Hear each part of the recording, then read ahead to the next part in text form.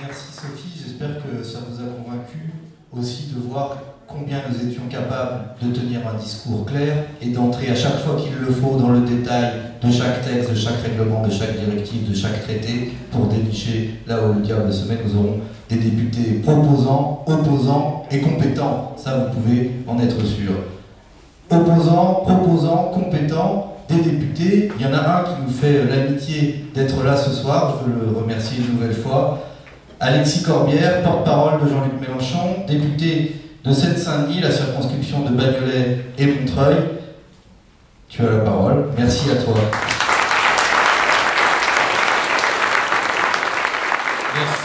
les amis. En espérant que ce micro tienne euh, ce que je vais lui faire subir, t'en as un autre avec échange. Merci de votre euh, fidélité et de quelque part aussi euh, le temps effectivement que vous consacrez à cette soirée. Il faut remercier les amis qui ont parlé avant, les organisateurs, j'insiste. Hein. C'est pas uniquement une politesse d'usage peu lourd, c'est vraiment, vous savez, tout à l'heure, la copine qui présentait disait Vous le connaissez tous parce que j'ai la chance avec quelques-uns de passer à la télévision. Donc il y a évidemment, après, derrière ça, une série de marques assez agréables d'ailleurs, où généralement les amis vous remercient, font une bise, on fait des selfies, ce qui est très sympa. Mais je veux dire, là, le rôle de ceux qui sont dans la lumière est quelque part sans démagogie aucune.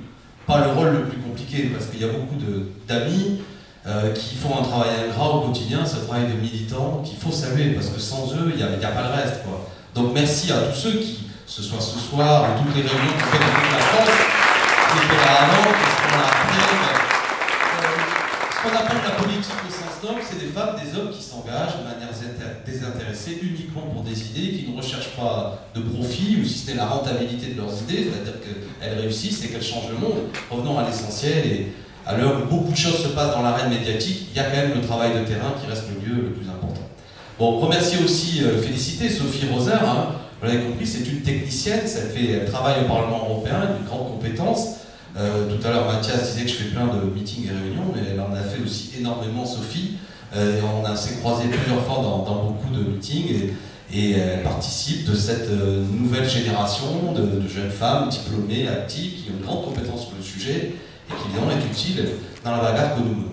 Et un mot sur Mathias, parce qu'il m'a invité, mais Mathias Tavel, on s'est connu, vous le savez, bon maintenant il est de chez vous, c'est un local de l'étape, mais euh, à Paris où il a longtemps milité.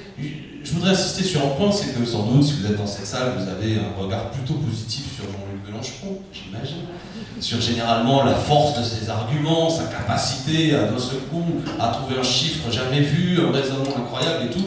Et Mathias a travaillé de très nombreuses années aux côtés de Jean-Luc Mélenchon. Il était au cœur, durant l'élection présidentielle de l'équipe de Jean-Luc Mélenchon. Il était même le principal fournisseur d'argumentaire.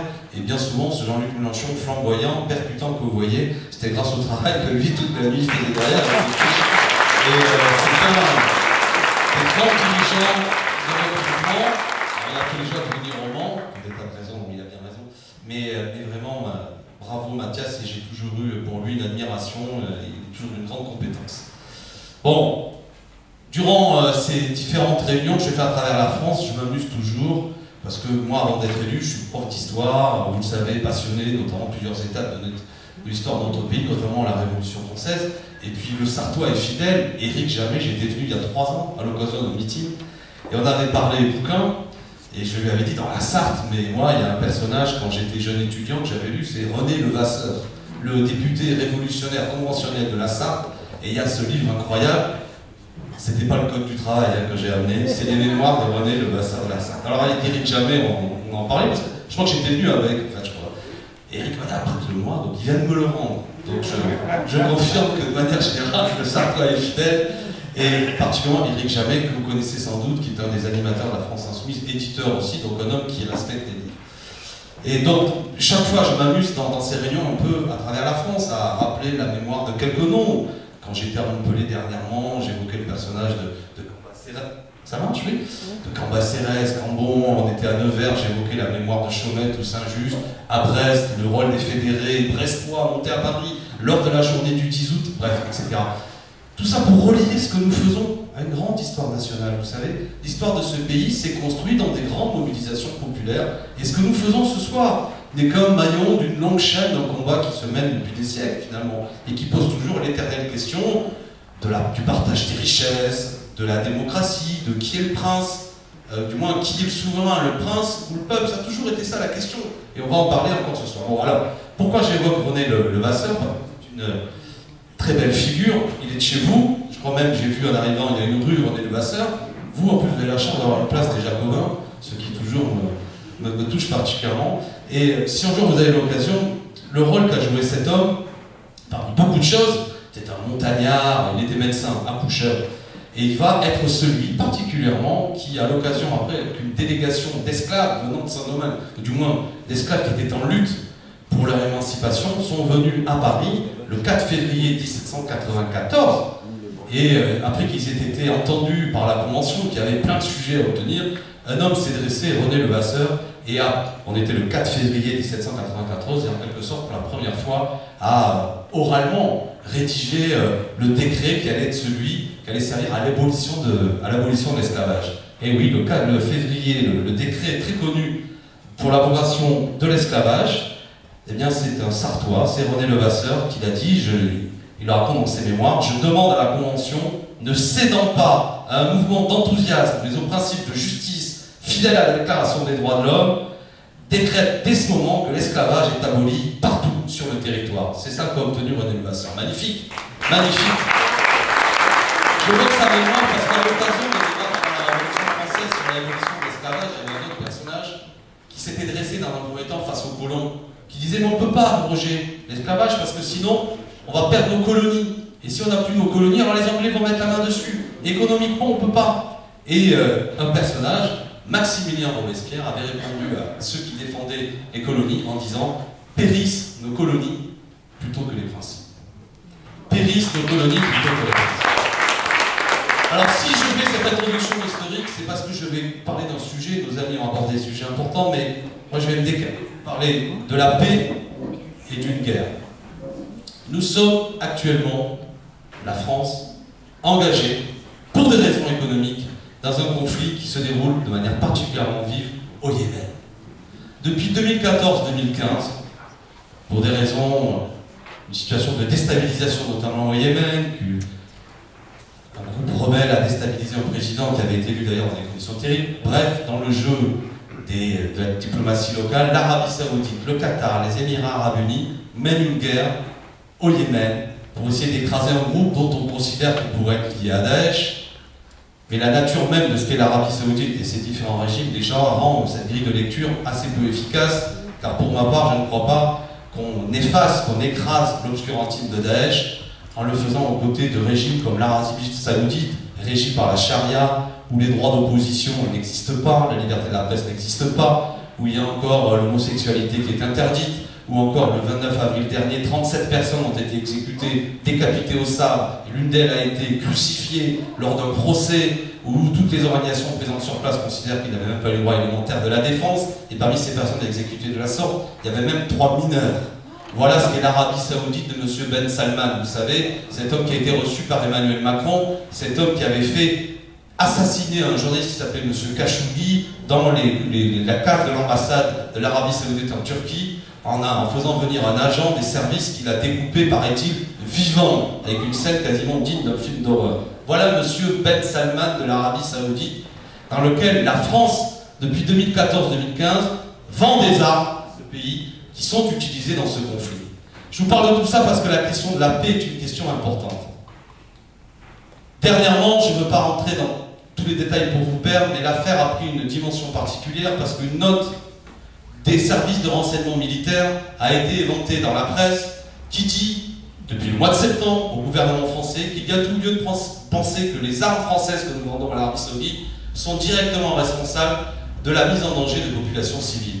On estime depuis le début de ce conflit qu'au moins 70 000 personnes ont perdu la vie, c'est 22 millions d'habitants Yémen, et qu'il y a au moins 5 millions d'enfants, selon l'ONU, qui sont en danger de mort imminent en raison des conditions terribles de la guerre, et notamment d'une famine, des conséquences des bombardements. Depuis le mois de septembre, une note du renseignement militaire a informé la ministre, Madame Parly, et aussi le gouvernement, que vraisemblablement nos armes françaises, notamment 44 canons, 10 César, participent à cette catastrophe humanitaire. Pourquoi je vous détaille tout ça? Parce qu'il y a un traité international de vente des armes qui a été signé par la France qui dit clairement dans son article 6, alinéa 3, que si les armes qui sont vendues alinéa 3, pourrait servir à mettre en danger des populations civiles, pourrait servir, c'est au conditionnel, c'est-à-dire même si on n'a pas la preuve formelle, mais que tout de même il y a tout lieu de penser qu'elle pourrait servir, eh bien nous devons immédiatement cesser le commerce des armes à un pays qui met en danger les populations civiles. La France, d'Emmanuel Macron, de Madame Loiseau, vous savez, celle qui nous vend l'Europe de la paix, vend actuellement des armes à l'Arabie Saoudite et cette coalition militaire qui met en danger notamment 5 millions d'enfants, et il continue à le faire en connaissance de cause. Ce scandale a pris une dimension particulière ces derniers jours parce qu'un cargo qui devait charger des armes au Havre est arrivé mais suite à une mobilisation qui a été lancée notamment à l'Assemblée nationale par certains députés, un député communiste de la circonscription, M. Jean-Paul Lecoq, qui a fait une très bonne intervention, nombre d'interventions que nous avions fait aussi avec mon collègue Bastien Lachaud, parce que je siège à l'Assemblée nationale à la commission défense et armée. C'est pour ça qu'à force je m'intéresse à ces questions. J'y étais pour rien, on s'est réparti des choses comme ça, je ne suis pas du tout un pro-militariste, mais c'est intéressant ces affaires-là. Parce que derrière la question de l'indépendance de la France, du rôle qu'elle joue, de quelle manière nous utilisons notre force armée pour avoir une diplomatie de paix et pas une diplomatie alignée sur des puissances militaires belliqueuses. Eh bien, je reviens à mon cargo au Havre qui devait charger des armes. Il y a eu une mobilisation qui a amené à ce que les dockers sur place du Havre ont dit nous, on ne charge pas des armes nouvelles. Il y avait 8 canons nouveaux César qui devaient être chargés. Et le cargo, il est reparti, la cargaison vide. Moi, je tiens à ce que ce soir, on félicite et on Non, non, on nous.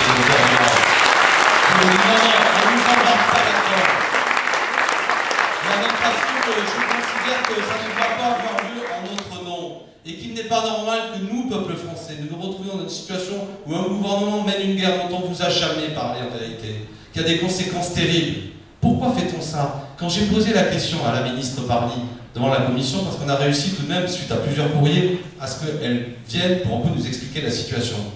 Vraiment pour que vous sachiez comment ça se passe, vous, vous êtes la commission, la ministre est là, elle fait un long rapport, un peu assommant, et après on a le droit de poser des questions.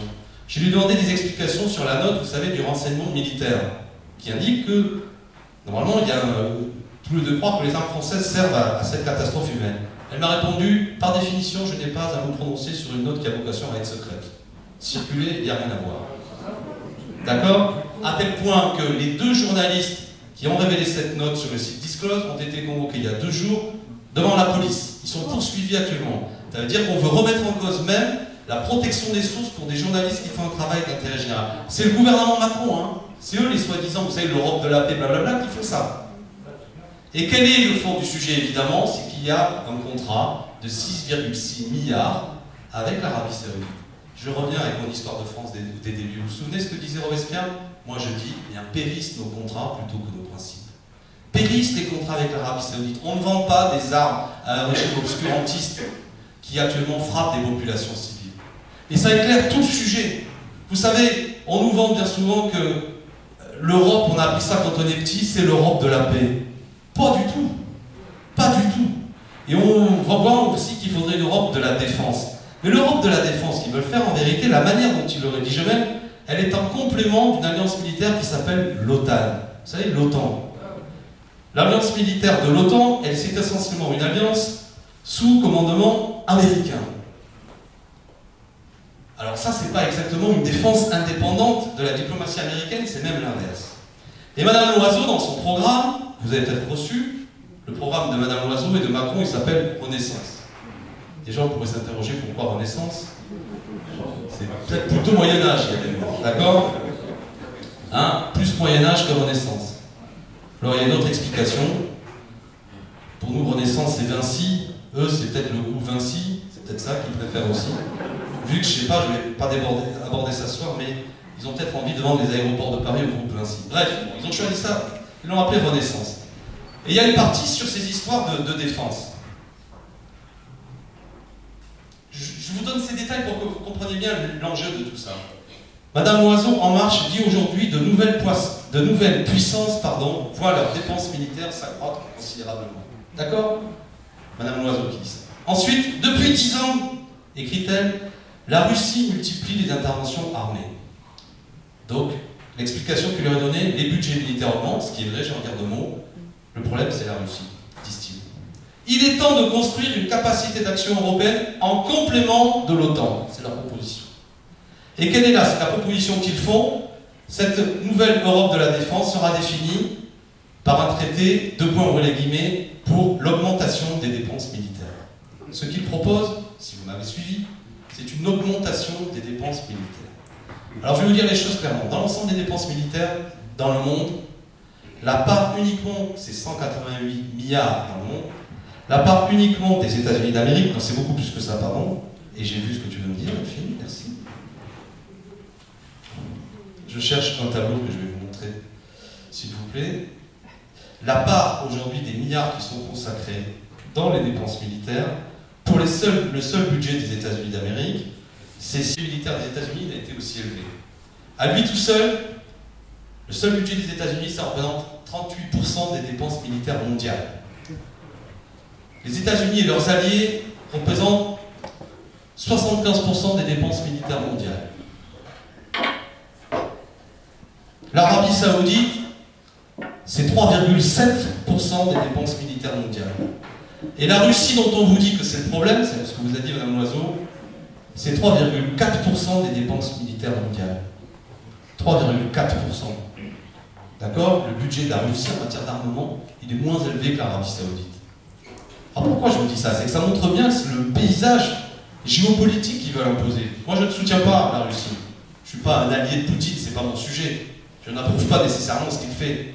Mais je vois bien le jeu aujourd'hui qu'ils veulent mettre en place, qui vise à faire croire que le danger dans la course folle à l'armement à travers le monde, ce serait Poutine. Et il faudrait préparer éventuellement de futurs conflits avec lui. D'ailleurs, d'ores et déjà, l'OTAN, dernièrement, a mis nombre de missiles nucléaires sur le territoire ukrainien, notamment avec la possibilité de frapper le territoire de la Russie. Ceux qui sont rentrés dans une logique folle aujourd'hui de course à l'armement, ce sont les États-Unis d'Amérique, qui demandent à tous les alliés de l'OTAN d'augmenter leur budget, ce qu'a fait la France d'ailleurs. Pour quelle raison ils demandent d'augmenter leur budget? C'est que quand vous faites partie de l'OTAN, le matériel militaire que vous utilisez doit être compatible avec le matériel américain. Et quand vous faites partie de l'OTAN, quasiment vous êtes obligé d'acheter du matériel militaire américain. Vous suivez le raisonnement C'est toute cette logique folle qui est derrière, y compris ce qui se passe au Yémen. Pourquoi la situation au Yémen se tend? C'est qu'en vérité, derrière cette histoire du Yémen, c'est le contrôle du détroit d'Hormuz, qui est le principal lieu de passage, notamment de livraison de pétrole à travers le monde, un lieu de commerce très important. Et l'Arabie Saoudite, qui est un allié américain, avait prévu, avant qu'il y ait 2014 toutes ces rébellions, qu'il y ait de longs pipelines qui traversent le pays pour avoir une façade plus importante pour vendre son pétrole. Vous savez, chaque fois qu'il y a des guerres, suivez le, pipeline. Cherchez à comprendre où est-ce qu'il y a du pétrole, où sont les enjeux économiques. On vous vend ça derrière des conflits religieux, il y a parfois cette dimension-là, mais c'est d'abord le contrôle, notamment du pétrole. Et l'enjeu aussi derrière tout ça, c'est l'Iran qui est pas loin et qui lui éventuellement veut essayer d'éviter que les États-Unis contrôlent complètement la situation. Mais ça peut se tendre parce que vous avez suivi dernièrement un des conseillers de Donald Trump est sur une ligne extrêmement agressive. Il y a nombre de bateaux américains qui sont en train de, croiser dans la région et la possibilité même que tout s'embrase et qu'une guerre directement entre les États-Unis et l'Iran est quand même ce qui est en train de se discuter. Donc la France là-dedans, elle doit garder une position, de mon point de vue, d'indépendance qui doit à tout moment être celle qui dit Oh, il faut la paix, réunissons des conférences internationales, créons les conditions que tout, tout, tout sauf la guerre. Parce que quand la guerre commence, c'est des spirales à partir de là d'alliances au niveau régional qui ne cessent de s'agrandir et on ne sait jamais la fin. Donc leur logique aujourd'hui, pour des raisons commerciales, pour des raisons de faiblesse politique et d'alignement diplomatique, notamment sur cette puissance agressive que sont les États-Unis d'Amérique, créer des conditions qui ne sont pas des facteurs de paix et qui sont potentiellement des facteurs de guerre. Et l'Europe, telle qu'il la construit, n'est absolument en rien un contrepoids face à tout ça, c'est même le lieu et la caisse de résonance de toute cette politique. C'est la raison pour laquelle, si vous voulez voter pour la paix, pour ceux qui disent sortons de l'OTAN, pour ceux qui disent il faut dénécluer, sortir du nucléaire, du moins des armes nucléaires, excusez-moi, mais pour ce soir, il faut voter, c'est ce que nous nous proposons. Et absolument pas aujourd'hui ce qu'ils sont en train de mettre en place. Ne les croyez pas sur parole. Ils peuvent faire entrer le monde dans un moment de grande turbulence et nous amener à la catastrophe. Parce que la catastrophe, elle est bien sûr écologique, je n'ai pas développé ce soir, mais vous l'avez compris. Si on ne sort pas de ce modèle économique, d'ici 12 ans, le GIEC vous l'a dit, il y aura des conséquences irréversibles. Et sortir de ce modèle économique, ça impose de rompre avec les traités qui construisent aujourd'hui, qui structurent le cadre européen. Je vais faire très court là-dessus, mais ne vous laissez pas abuser par ceux qui veulent vous faire croire que dans le cadre de ces traités, on peut mener d'autres politiques que ce qui est fait actuellement. C'est faux. C'est totalement faux. Vous, vous voulez lutter contre la fraude et l'évasion fiscale nécessairement vous devez remettre en cause les traités qui empêchent en vérité que vous puissiez mettre un ralentissement au mouvement des capitaux. Sauf si vous arrivez à obtenir l'unanimité des pays. Et parmi les pays, il y a le Luxembourg, mais pas seulement, qui lui-même est un paradis fiscal. Donc il faut avoir l'accord des paradis fiscaux pour qu'éventuellement vous puissiez combattre les paradis fiscaux. Quand par exemple, tout à l'heure on discutait avec les amis qui sont venus nous parler euh, de, l'entreprise de papeterie qui va être euh, liquidée, le bruit court qui a l'air assez fondé qu'on demande aux techniciens qui faisaient tourner les machines de préparer des techniciens polonais parce que la boîte elle va partir en Pologne. Ce qui organise cette concurrence et cette désindustrialisation au sein de l'Europe, au sein même des pays de l'Europe, ce sont les traités qui disent qu'il est interdit d'aller vers une harmonisation fiscale et sociale entre les pays. On a fait rentrer des pays, notamment les dix pays, qu'on va dire les anciens pays de l'Est, en leur disant votre principale valeur ajoutée, bien sûr vous êtes moins fort économiquement que euh, la France, etc., mais vous êtes moins disant social, moins disant fiscal. Et euh, le plus grand nombre de délocalisations, aujourd'hui, que nous avons subies en France, elles sont au sein de l'Europe. Ça, ça rend tout le monde fou. Alors vous, pouvez dire des grands mots, hein, la fraternité, euh, vive l'amitié entre les peuples. Il faut l'amitié entre les peuples. Mais si vous organisez un cadre de concurrence entre les gens et que euh, un nombre de salariés, vous dites, bah, ton boulot il est parti, faut aimer les Roumains, hein, enfin il est parti en Roumanie, progressivement les gens se disent, mais bon, ça va plus. Donc on est dans ce moment-là politique de grande tension. Tout ça évidemment a fait monter parfois euh, de la xénophobie, de la tension, etc. Et ce scandale aussi de la directive des travailleurs détachés, qu'on pourrait développer qui, c'est fou quoi. Je, découvre que vous savez, il y a énormément de travailleurs détachés français qui travaillent en France et qui vont dans des boîtes, notamment au Luxembourg, où ils sont embauchés sur la base de boîtes au Luxembourg, pour qu'ils puissent après revenir sur un marché français, mais en ne payant pas les cotisations telles qu'ils devraient les payer en France. C'est-à-dire qu'il y a même des, des, auto-délocalisations. Je referme cet aspect parce que tout ça est dans notre programme, vous l'avez entendu. Mais je voulais insister d'abord sur la paix, suivez cette histoire de guerre au Yémen. Ce gouvernement a du sang sur les mains, et je le dis en responsabilité. Ces gens-là savent que nous sommes en train de, bafouer des traités internationaux que nous avons signés. C'est une guerre qui va avoir des conséquences terribles, et c'est une guerre qui peut potentiellement enflammer une région entière avec un conflit à dimension mondiale demain. Et il n'est pas bon que nous soyons attachés au char d'alliances euh, stupides avec l'Arabie Saoudite et les États-Unis derrière. Alors, il y a une élection, il y a une élection, le 26 mai. L'objet de la réunion de ce soir, c'est vous convaincre, ça a été dit, de voter pour une liste. Mais il est clair que ce qui est important, c'est bien comprendre le contexte politique dans lequel nous sommes. La journée du 26 mai n'est qu'une journée dans un grand moment politique dans lequel se retrouve le pays. Et nous ne sommes pas électoralistes. On ne va pas vous faire croire que c'est uniquement dans le, résultat de la journée du 26 que l'ensemble de la situation du pays va trouver une réponse. Fondamentalement, je vais parler des Gilets jaunes, mais pour illustrer le grand moment de turbulence politique dans lequel on est, il y avait déjà une manifestation très nette qui s'est exprimée à l'occasion des élections présidentielles. Les élections présidentielles ont dit des choses qui, nous, comme on est collés, comme vous, aux événements, on ne voit pas bien la, la dimension de ça. Mais des partis qui ont organisé la vie politique pendant des décennies, notamment le Parti Socialiste. Vous vous souvenez, à une époque, c'était il y a très longtemps, il y a trois ans, ils le pays, majoritaire à l'Assemblée, majoritaire au Sénat, ils avaient toutes les régions, les principales villes. Leur candidat, qui était un candidat d'opposition en plus à ce parti, a fait 6%. Le président de la République sortant, c'était un homme qui s'appelait François Hollande, vous l'avez oublié sans doute, a considéré qu'il ne pouvait même pas se représenter devant les électeurs, sinon il était assuré de prendre une boost électorale et il avait bien raison. La droite traditionnelle, elle aussi, a été battue. Un nouveau paysage a commencé à voir le jour. Pour s'en sortir, le système a mis en avant un homme, et c'était fort habile, dont l'apparence était qu'il était celui du grand changement. son livre de programme s'appelait Révolution, c'était ça le nom du programme. On vous a vendu la nouveauté, il va tout changer, etc. Une force politique comme la France Insoumise qui n'existait pas avant le 10 février 2016 a rassemblé 7 millions de voix. Un groupe parlementaire, j'en suis l'illustration, avec des gens qui n'avaient aucune raison de se retrouver députés. Moi, je suis prof de lycée professionnel avant. Adrien Quatennens, dont on a parlé, il travaille dans un call center. Euh, Caroline Fiat, qui est une de nos députées, elle travaille dans un EHPAD, etc., etc. On fait rentrer un groupe. Ce que je veux dire, c'est que on est dans un grand moment de bouleversement politique. Ne regardons pas les choses à l'ancienne, si je puis me permettre. Il y a des partis, des forces qui sont en train de mourir. Un rapport à la politique qui se modifie. Il y a la recherche par notre peuple d'une solution Notamment une énergie qui est dans le fait de dégager ceux qui sont responsables des problèmes ou qui sont perçus comme tels. Le dégager sait qu'il veut dégager, mais il ne sait pas toujours ce qu'il veut vraiment. Mais c'est ça l'énergie, c'est ça que veulent dire ces élections présidentielles. Je veux qu'on les comprenne bien ensemble, ces élections. Celui qui a gagné Emmanuel Macron a rassemblé 24% des voix au premier tour, mais ça ne représente que 18% des électeurs inscrits. Et en fonction de la nature de ces institutions, au second tour, comme il est, contre l'extrême droite, et que beaucoup de gens n'ont pas envie de l'extrême droite, eh bien il rassemble au second tour 7, 60% des exprimés, mais seulement 43% des électeurs inscrits. Ce que je veux vous dire, c'est que déjà dans cette élection, celui qui après va concentrer énormément de pouvoir est minoritaire.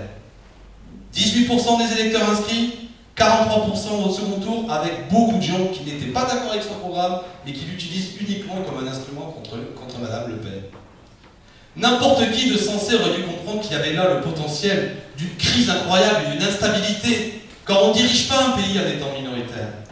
La solution que nous avions proposée durant la campagne présidentielle était de dire que ces institutions sont le problème. Elles permettent de gouverner sans le peuple et même contre le peuple. Elles permettent de gouverner en étant minoritaires. À l'occasion des élections législatives, En Marche n'a rassemblé, vous savez, que pas plus de 30% des électeurs euh, au premier tour, hein, ce qui représente même pas 20% des électeurs inscrits. Ils ont aujourd'hui plus de 60% de l'Assemblée nationale. Nous, on a fait 11% les insoumis aux élections législatives. Je le rappelle, on n'a que 4% des députés. Le Front National, je souhaite sa défaite. Au second tour, ils ont 8 députés. Cette Assemblée nationale n'est pas représentative de la réalité du peuple français. Je veux être plus précis. Je suis très fier d'être député. Moi, je viens d'un milieu modeste, je suis très fier mais j'ai réalisé 60% au second tour. Et par rapport au nombre d'électeurs inscrits, je n'ai fait que 21%. C'est-à-dire que 80% des gens de ma circonscription n'ont pas voté pour moi. En plus, dans ma circonscription à Montreuil-Bagnolet, il y a beaucoup d'étrangers qui n'ont même pas le droit de vote. Ça veut dire que quasiment 9 personnes sur 10 que je croise, au moins, n'ont pas voté pour moi. Et pourtant, c'est moi qui les représente à l'Assemblée. Et ce raisonnement-là, vous pouvez le pour tous les autres députés. Si je vous décrivais dans un bouquin une société où ceux qui dirigent sont minoritaires dans le pays, mais minoritaires à un point très très net, représente à peine 15% des gens. Vous direz, Alexis, c'est un livre de science-fiction, tu nous décris un régime autoritaire. Pourtant, c'est la 5 République. C'est tout le sujet, c'est comme la question de la guerre, ce que je vous ai dit tout à l'heure. Où est la souveraineté? Est-ce que vous êtes d'accord avec le fait qu'on mène la guerre? Non. Est-ce qu'on vous a consulté sur le fait qu'on mène la guerre? Non. Est-ce que vous êtes d'accord avec le fait qu'on mène une politique telle que le fait actuellement Emmanuel Macron Non, il n'y a pas de majorité là-dessus. Et pourtant, il y arrive. En raison de ce système politique. Alors, ce qu'il y a de positif, c'est que ce que dit le mouvement des Gilets jaunes à sa façon, bien sûr de manière confuse, parce que les gens ils cherchent.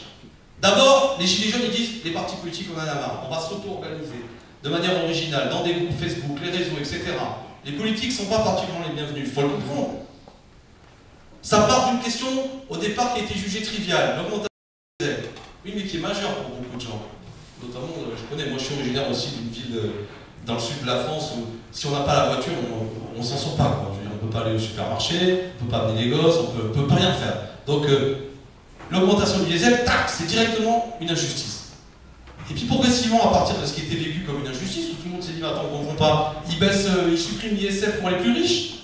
Et puis pour nous, par contre, euh, ils nous tapent sur le diesel. Le kérosène, il n'est pas taxé pour les grandes compagnies aériennes, mais par contre, pour le Quidam, lui, pour Jojo et Gilets comme il est là, lui, il est, bon, injustice. Ça part cette question-là. Et puis après est venue durant le mouvement la question sociale, les gens ont dit mais il faut rater les salaires. Et puis est venue progressivement la question démocratique, les gens ont dit mais il faudrait un RIC, un référendum d'initiative citoyenne, qui fait que le, le, le citoyen reste un acteur civique entre deux rendez-vous. C'est une grande idée ça. Aujourd'hui, il faut créer des conditions de nouvelles institutions, un système démocratique où même quand une élection a eu lieu, éventuellement l'électeur, si de manière significative il le souhaite, il peut éventuellement reprendre le contrôle.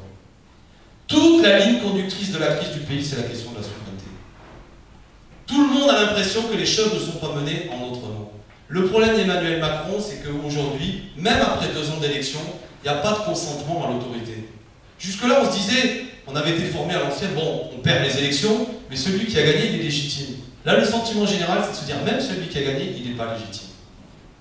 Donc ce pays, si on ne règle pas ça, si c'est que par la force qu'ils veulent régler ça, ce que j'appelle la force, c'est des méthodes de pourrissement. Oui, oui, on va discuter, j'organise un grand débat, ça vous coûte 15 millions, puis à la fin du grand débat, j'ai tout compris, je fais une grande conférence de presse, bon en fait, il va falloir travailler plus longtemps. C'est ce qu'il a fait. Hein.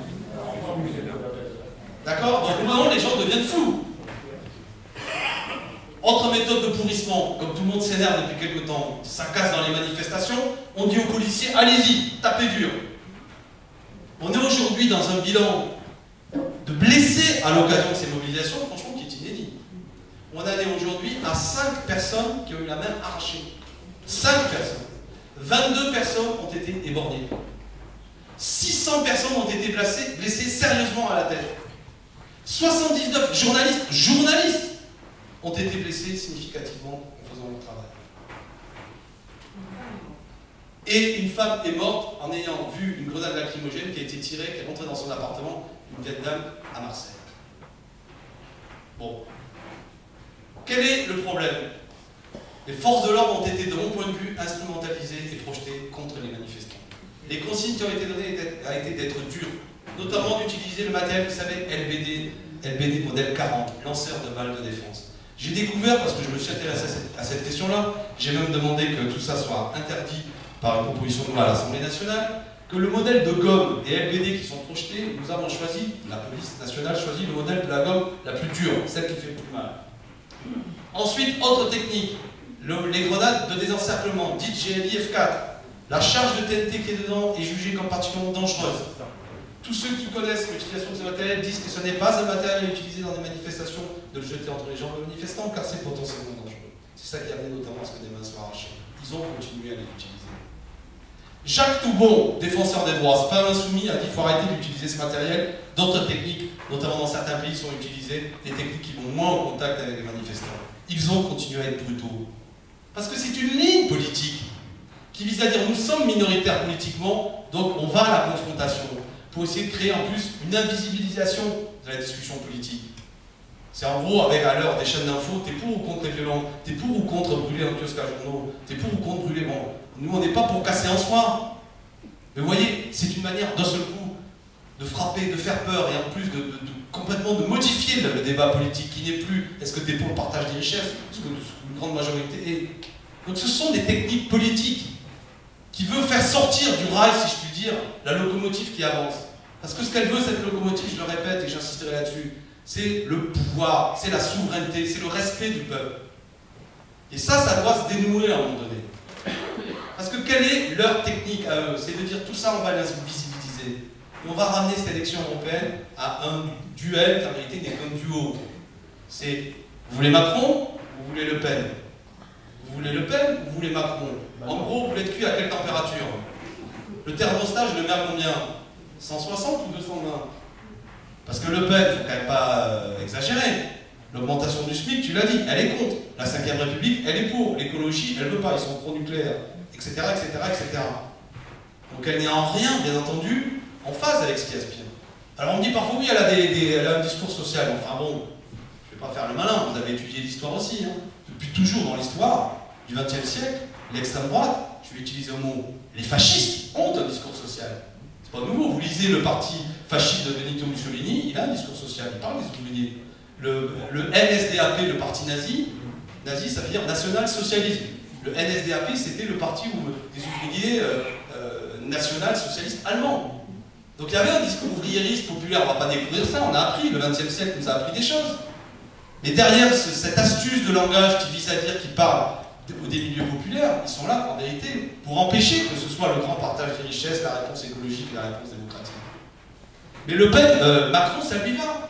Parce qu'il est minoritaire, évidemment, avec son assurance vie. C'est ce que disait tout à l'heure Mathias. Au second tour, il est élu parce qu'il y a Madame Le Pen. Donc il se dit qu'il veut rejouer ça. Il veut nous faire tourner, vous savez, comme le hamster qu'on met dans la cage, autour de, cette échéance qui en réalité fabrique quoi? Bien souvent, une forme de, de dépit. Beaucoup de gens n'ont plus envie d'aller voter, se disent que euh, c'est pas ça l'alternative. C'est la difficulté du moment. Notre problème de cette élection, quel va être le phénomène politique majeur de cette élection? C'est l'abstention. Une abstention sociologiquement très ciblée. Plus vous êtes dans des catégories aisées, plus les gens vont voter. Plus on est dans les milieux populaires, les gens s'abstiennent. Moi, je ne prends pas le problème en disant ah, ils sont cons, hein.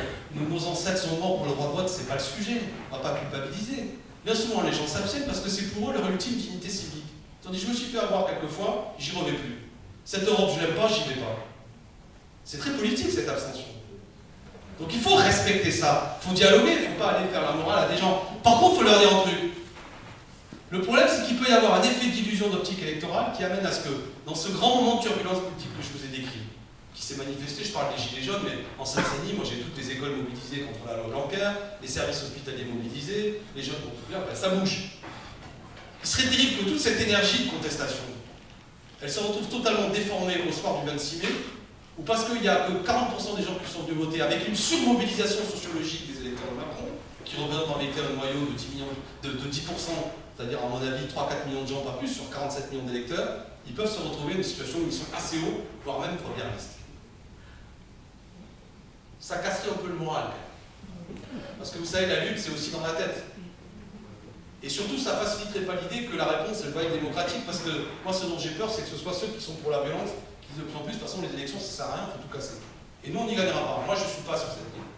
Je ne suis pas un violent. La force que nous avons, c'est le nombre. C'est pas l'action radicale d'une minorité agissante qui parfois peut faire un truc euh, qui symboliquement peut avoir du sens, mais c'est pas ça le problème. Donc il faut faire garder la confiance dans la puissance du nombre. Et c'est évident que si cette élection elle défend complètement ça, ça risque de faire mal. Donc il faut travailler à mobiliser. À dire qu'il y a une manière, il y a un vote qui permet de sortir de ce verrou que je vous ai tout à l'heure. Évidemment pas en instrumentalisant le vote d'extrême droite contre Macron, c'est ce qu'il veut. Ils sont débiles ceux qui nous proposent ça. Il y en a un qui a été mis en valeur l'autre jour, euh, mais qui n'a rien compris.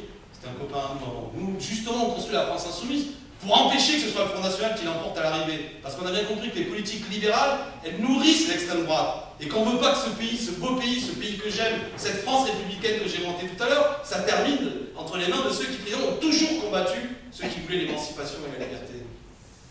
Donc, euh, il faut rester raisonnable. C'est une force indépendante Avec la liste France Insoumise conduite par Manon Aubry, c'est ça qu'on vous propose.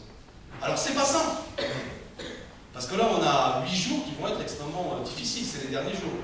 Une boule puante par-ci, une chose par là, un matraquage médiatique, les sondages. Un mot sur les sondages. Le droit de vote masculin a été obtenu en France pour la première fois en 1875. Mais il a fallu attendre 1913 pour qu'on ait droit à l'isoloir. Jusque-là, on allait voter, notamment dans les villages, en groupe, on y allait tous, à la queue leu et on donnait un papier au notable qui tenait l'urne, qui lui-même le pliait et qui le mettait dans la boîte euh, à isoloir. Parfois même dans les villages, il y avait monsieur le curé qui était là, qui pouvait jeter un œil sur le fait que vous votiez bien pour ce qu'il faut et pas spécialement pour les républicains ou les rouges. En 1913, on a dit non mais oh, on doit voter en conscience et donc ce qui permet de voter indépendamment, c'est l'isoloir. Le problème aujourd'hui de la tyrannie des sondages, c'est que ça remet tout ça complètement en cause.